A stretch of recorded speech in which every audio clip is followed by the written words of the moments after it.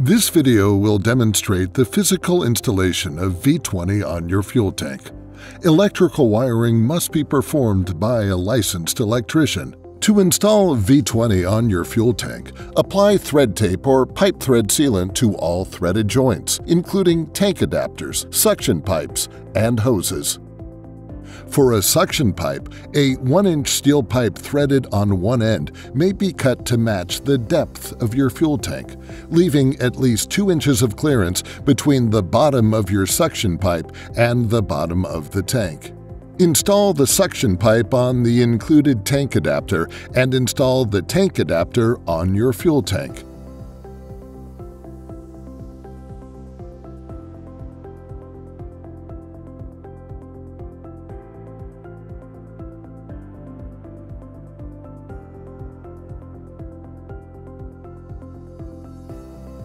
Tighten down with an adjustable wrench.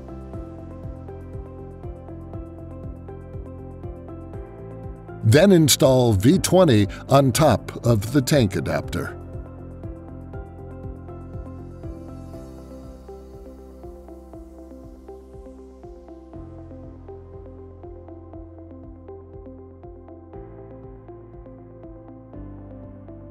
Next, using a 4mm hex wrench, attach the nozzle holder to the pump.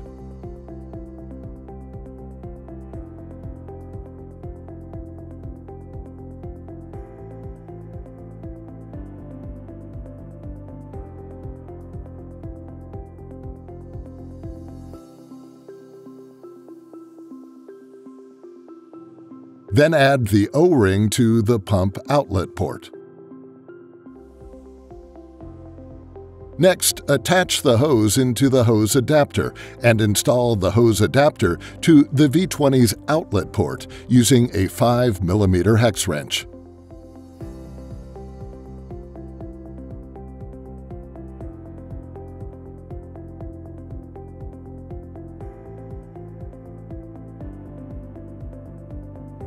Tighten the hose with an adjustable wrench to avoid leaks. Then attach your GPI nozzle to the hose.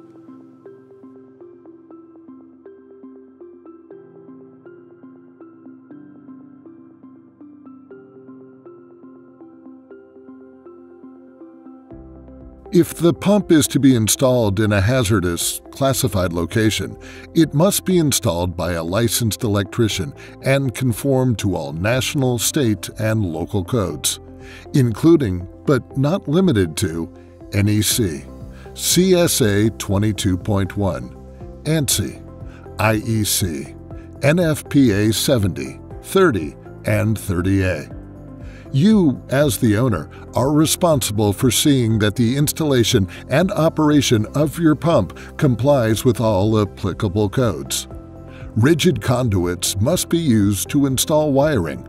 Note that the lead wires are factory sealed, isolating the motor from the junction box. Failure to follow these wiring instructions may result in death or serious injury from shock, fire, or explosion.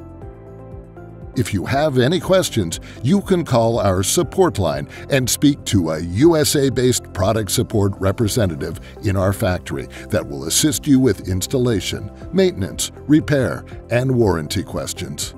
This responsive live service is our legacy and our commitment to you. Thank you for choosing GPRO.